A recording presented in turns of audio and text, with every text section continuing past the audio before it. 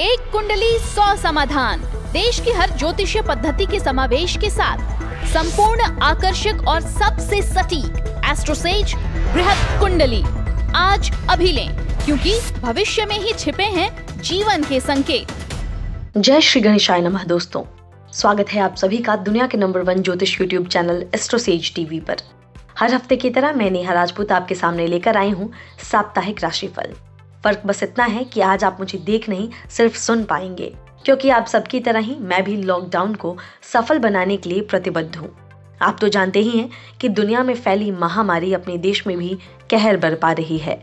इससे बचाव के लिए हमारी सरकार ने कुछ दिशा निर्देश जारी किए हैं, जिसमें ऑफ़िस बंद रखना और सोशल डिस्टेंसिंग खास निर्देश है।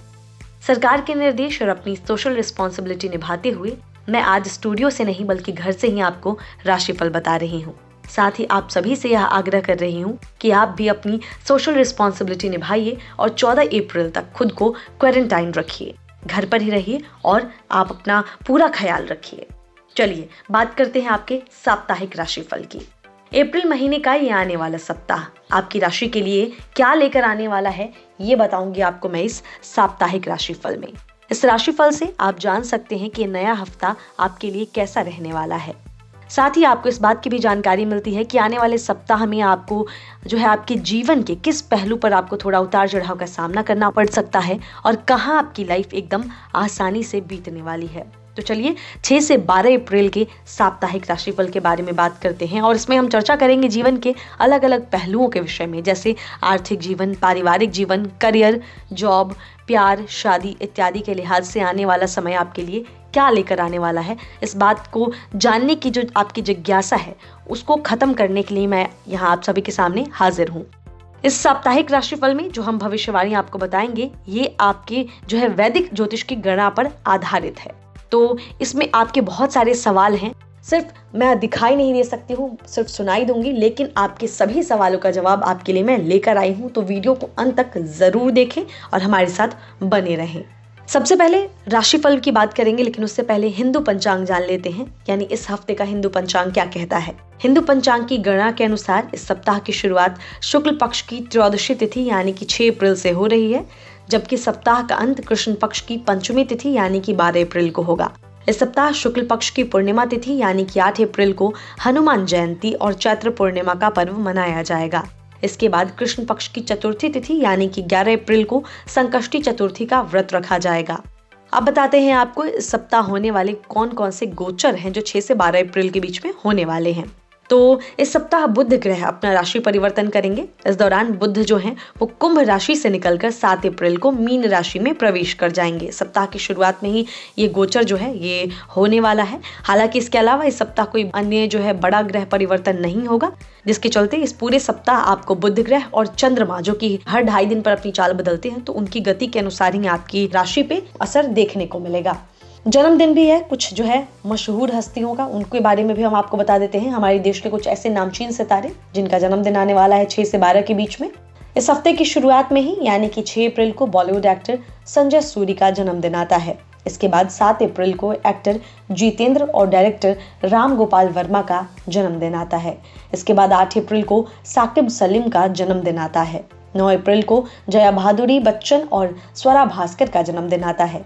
इसके बाद मशहूर डांसर टेरेंस लुइस और आयशा टाकिया का जन्मदिन 10 अप्रैल को आता है। और अंत में 11 अप्रैल को मशहूर डायरेक्टर मोहित सूरी का जन्मदिन आता है। तो ये कुछ ऐसे मशहूर हस्ती हैं बॉलीवुड से जुड़े हुए जिनका जन्मदिन आता है छः से बारह के बीच में। और ये बताने का मेन रीज़न है आप सभी ही, क्योंकि आपके कमेंट नीचे आते रहते हैं और आप बोलते हैं कि हमें कुछ जो है इसके अलावा भी जानकारी दी जाए। तो हम आपको जो है गोचर के बारे में ज्योतिष तथ्यों के बारे में जन्मदिन विशेष जो है, ये हमने नया शुरू किया है। इसके बारे में आप ज़रूर अपनी राय नीचे लिखें कि ये सेगमेंट आपको कैसा लग रहा है।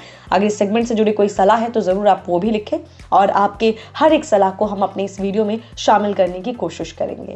तो ये सारी जानकारियाँ हो गई हफ़्ते से जुड़ी हुई। और अब मेन मुद्दे पे आते हैं, यानी आपके राशिफल पे। तो राशिफल की शुरुआत करते हैं और आपको बता दें कि राशिफल चंद्र राशि पर आधारित है, यानी मून साइन बेस्ड है। तो जिसको अपनी चंद्र राशि नहीं पता है, जो पहली बार हमारे वीडियो को देख रहे हैं, वो नीचे डिस्क्रिप्शन बॉक्स में दिए गए लिंक पर क्लिक कर सकते हैं और वहाँ क्लिक करके अपनी चंद्र राशि का पता लगा सकते हैं। तो चलिए इस वीडियो में बात करते हैं सबसे आखिरी राशि, यानी मीन राशि के जातकों की। चंद्रमा इस सप्ताह मीन राशि के जातकों के लिए छठे, सातवें, आठवें और नौवें भाव में गोचर करने जा रहा है। सप्ताह की शुरुआत आशाजनक, सकारात्मक रहेगी और सप्ताह के मध्य तक आपकी उत्पादकता बनी रहेगी। प्रतियोगिता के आपके छठे घर में चंद्रमा की गति, आपकी नौकरी और व्यवसाय के लिए लाभकारी साबित होगी। नई नौकरी तलाश कर रहे थे तो इस दौरान आपको अच्छा अवसर मिल सकता है। वहीं वर्तमान संस्थान में भी आपको पदोन्नति मिलने की संभावना है। लिटिगेशन कोर्ट कचहरी का मामला, यदि कोई है तो सकारात्मक दिशा में आगे बढ़ सकता है। प्रतियोगी परीक्षा के लिए अध्ययन करने वाले या उच्च अध्ययन के लिए धन की तलाश करने वाले छात्र लाभकारी परिणाम प्राप्त करने में सक्षम होंगे। आगे चंद्रमा का गोचर आपके सातवें भाव में रहेगा, जो आपके संबंध, व्यापारिक साझेदारी, पेशे और व्यवसाय का भाव है। चंद्रमा की स्थिति पेशे के संदर्भ में आपको वांछित फल प्राप्त होंगे। व्यक्तिगत जीवन में मौजूदा रिश्तों में सामंजस्य बढ़ेगा और बेहतर सुख सुविधाओं की तरफ़ आप अग्रसर होंगे। आपको माता और माता तुल्य स्त्रियों से समर्थन और आशीर्वाद मिलेगा। व्यवसायी अपने व्यवसायों का विस्तार करने में सक्षम होंगे, क्योंकि पूर्ण चंद्रमा उनके प्रयासों में उनका समर्थन करेगा। मीन राशि वालों के लिए सप्ताह का अगला भाग थोड़ा कठिन रहेगा। चंद्रमा का गोचर आपके अष्टम भाव में दर्शाता है कि बच्चों से संबंधित कुछ समस्याएँ आपका अधिकांश समय ले सकती हैं। छात्रों को अपने अध्ययन में कुछ परेशानियों का सामना करना पड़ सकता है, जिसके परिणाम स्वरूप प्रदर्शन में कमी आएगी। आपकी कर्कश और कठोर वाणी की वजह से आपके हाथ से कई अवसर आप गंवा सकते हैं। इससे आपकी फाइनेंस संबंधी समस्या बढ़ सकती है, जो तनाव को और बढ़ा देगी। स्वास्थ्य विशेषकर आँखों का भी इस अवधि में आपको ध्यान रखना चाहिए।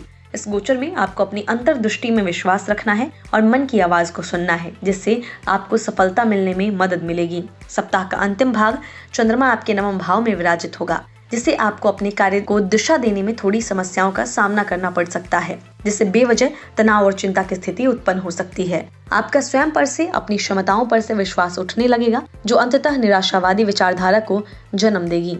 इसका स्वास्थ्य पर भी प्रतिकूल असर पड़ सकता है। आपकी मुख्य खूबी आपकी सकारात्मकता है, इसीलिए इस पर नकारात्मक विचार हावी न होने दे। तभी आपको इस गोचर से अच्छे लाभ प्राप्त हो सकते हैं। कई बार आप चाहकर भी ना नहीं कह पाते, जिसकी वजह से आप काफ़ी काम अपने हाथ में ले लेते हैं और अनावश्यक तनाव का शिकार होते हैं। हालाँकि यह गोचर अध्यात्म से जुड़ने के लिए बहुत शुभ रहेगा, जिससे आप तरोताजा महसूस करेंगे। जो भी विद्यार्थी उच्च शिक्षा की ओर अग्रसर हैं, उन्हें अच्छे अवसरों की प्राप्ति होगी। प्रेम जीवन की बात करें तो जब प्यार और रिश्तों में मीन राशि के लिए भविष्यवाणियाँ करने की बात आती है तो सप्ताह मिश्रित परिणामों की ओर संकेत दे रहा है। प्रेम जीवन के लिए चूँकि चंद्रमा पाँचवें घर का स्वामी है, इस अवधि के दौरान आपके जीवन साथी की अपेक्षाएँ आपसे बढ़ी हुई रहेंगी। इसीलिए अपने साथी के साथ जितना संभव हो, उतना समय बिताएँ और उन्हें अपने पसंदीदा स्थानों पर ले जाएँ। यह निश्चित रूप से रिश्तों को मज़बूत करने में मदद करेगा। विवाहित जातकों के लिए बुद्ध की दुर्बल स्थिति यह दर्शाती है कि जीवन साथी से स्पष्ट संवाद रखने से आपको रिश्तों में ज़रूरी स्थिरता लाने में मदद मिलेगी। उपाय की बात करें तो दूध में हल्दी डालकर पिए। भाग्य स्टार के तौर पर आपको मिलते हैं पाँच में से ढाई स्टार। तो जाना हमने कि 6 से 12 अप्रैल के बीच का ये सात दिन कैसा बीतेगा आपके लिए।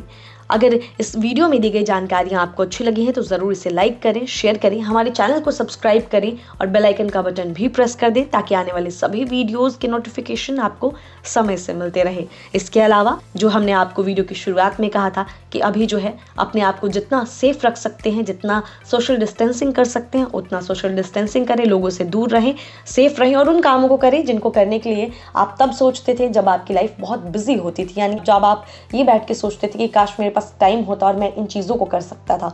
तो आप वो काम करें जो आपके विश लिस्ट में हो और दूर रहें, सेहतमंद रहें। यही हमारी कामना है आपके लिए। बाकी जितने भी तीज त्यौहार हैं, उनकी ढेर सारी शुभकामनाएँ, जिन लोगों की जन्मदिन आते हैं इस हफ़्ते में, उनको भी जन्मदिन की ढेर सारी शुभकामनाएँ। मिलेंगे आपसे अगले वीडियो में। तब तक हँसते रहिए, मुस्कुराते रहिए और किसी का दिल मत दुखाइए। नमस्कार।